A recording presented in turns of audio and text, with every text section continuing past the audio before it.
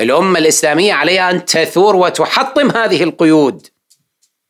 روح لهذه اللافتة اللي, اللي, اللي على الشارع بالكويت شارع هند بنت حطمها. اذهب.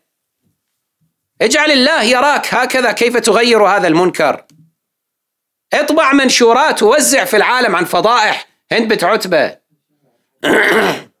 تفضل شوف شوف الفضيحة شوف. شارع الحجاج بني وين هاي اللي قبل؟ اللي قبل هذا. شارع الحجاج بن يوسف الثقفي. تفضل. وهذا شارع المغيرة بن شعبة. شارع المغيرة بن شعبة الزاني. السارق الفاجر اللي دخل الإسلام هربا بس ممن سرقهم ونزع عليهم. قتل ناس سطع على أموالهم وجاء إلى رسول الله قال أنا مسلم الآن والإسلام يجب ما, ما قبله حتى يحتمي بالمسلمين. بس واحد خسيس. لا أكثر. وقدم أيضا هذا المال على أساس يعني خمس ماله يعني. يقدمه إلى رسول رسول الله ما قبل منه شيئا. نحن لا نقبل الماء الماء المال المسلوب. مال الغدر. هذا مالك من غدر هذا. غدرت بالناس هم الكويتيين يقبلون تسمية شارع باسم صدام مثلا؟ اي أحسنت. خوش ملاحظة هذه. يلا خلي الكويتيين يقبلون تسمية شارع باسم صدام. صدام لعله أقل إجراما كان من الحجاج. ورمز الأمة العربية. مو هالشكل؟ بقولتهم رمز الأمة العربية. وكان إلى يوم واحد آب واحد أغسطس. تسعين صدام عند الكويتيين بطل مغوار نصف إله. ما من جريدة ومجلة بالكويت إلا صورة صدام بالصفحة الأولى. وتصريحاته والتمجيد به والثناء والأشعار والاحسن والأغاني الوطنية. الله العالم. شنو كان وين رفعوا صدام؟ إلى ذلك التاريخ قبل أن يدخل عليهم صدام. يلا ارجعوا إلى عهدكم الأول. يلا غلطة سواها صدام وكفر عنها وانتهى انتهى. الأمر. إيش صار يعني الآن؟ عفى الله عما سلف. كفوا عما شجر بينهم.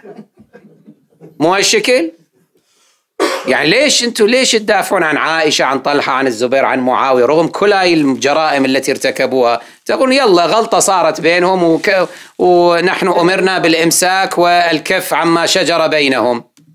ونترحم على أموات المسلمين. هذا من أموات المسلمين. يلا صار نزاع معين تطور إلى غزو ونهب وسلب وقتل وكذا. اجتهد فأخطأ. يلا. إيش صار يعني الآن. من أجل توحيد الأمة ومن أجل آه، إعادة اللحمة مو هالشكل. ومن أجل آه، يعني خلص طي صفحة الماضي. نطالب بتسمية شارع في الكويت باسم صدام حسين التكريتي. تقبلونها؟ طبعا أدري أنه الشريحة من الكويتيين بغضا فينا يقبلونها ترى بالمناسبة. أكو شريحة شوية. نابتة منهم هكذا. بعض النابتة منهم يقولون إيه خلص صدام إيه الله يرحمه بس كان والله مؤدب هؤلاء الشيعة.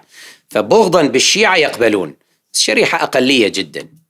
معظم الناس ما يقبلون لأنه بالنتيجة عندهم ثار مع صدام. إذ قتل منهم من قتل وفعل ببلادهم ما فعل ويحق لهم ذلك كما يحق للعراقيين ذلك ويحق للإيرانيين ذلك وللكرد ذلك ولكل من طاله إجرام هذا الطاغية. ولكن أنت تبقى متناقضا. أنت أيها الكويتي أو المسؤول خصوصا المسؤول الكويتي أخاطبه أنت تبقى متناقضا. إذ تقبل شارعا باسم الحجاج ولا تقبل شارعا باسم صدام. مع أنه هذا طاغية وهذا طاغية. ما الفرق؟ الفرق الوحيد هو التقادم الزمني. يعني ممكن بعد مثلا خمسين مئة سنة نشوف شارع باسم صدام بالكويت لو ما نشوف. إيه، ومدرسة باسم صدام هم نشوف. زين هو ممكن صحيح بعد ربما كم سنة ربما 100 سنة 200 سنة ربما بالفعل هذا يصير إذا نحن سكتنا. هل هذه ظاهرة صحية؟ أنه آه، تستمر حالة تسمية الأسماء الشوارع والمناطق والمدارس والجامعات وما شاكل بأسماء شخصيات لا تستأهل التمجيد. إذا يجب أن شوية نتحرك. نحرك هذه الثورة هذا الحراك الرافضي عليه أن أن يعتمل أكثر. كم مرة نقول لا نريد عملا فقط في العالم الافتراضي؟ شو أسوي بهاشتاجكم هاشتاجاتكم أنتم شو نسوي بها هذه؟ نريد عملا ميدانيا. يبين بالعين. تلتقطه وسائل الإعلام وتغطيه.